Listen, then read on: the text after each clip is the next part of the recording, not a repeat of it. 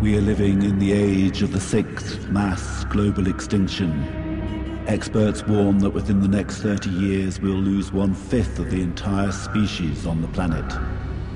And if trends continue, we'll lose half our species within the next hundred years. One quarter of our mammal species are at risk of dying out in the wild. But is anybody listening?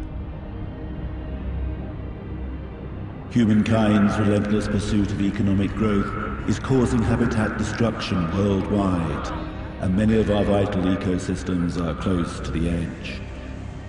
Ocean acidification is a probable eventuality resulting from anthropogenic carbon dioxide emissions. There is a global loss of ecosystem functionality as meteorological turbulence leads to diminishing carbon sequestration potential and reduced hydrological function potassium and other environmental Are we failing to communicate? Have we forgotten what first inspired our love of nature?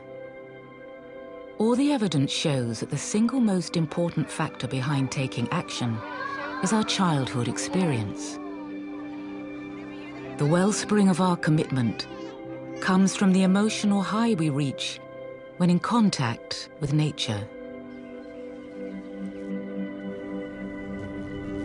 But how can this wonder be harnessed to change our behavior? Showing the loss of animals in faraway places may pull a few heartstrings, even attract donations. But does it really change our behavior?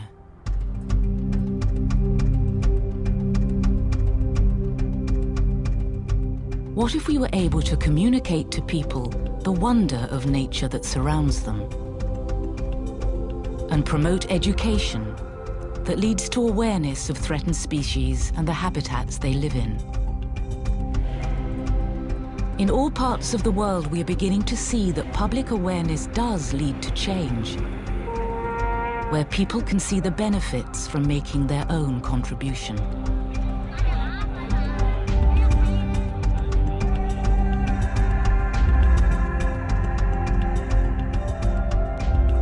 It's not the depressing accounts of the wildlife we are losing that moves us.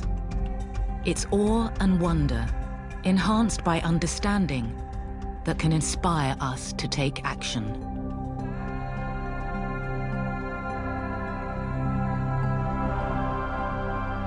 It's love, not loss.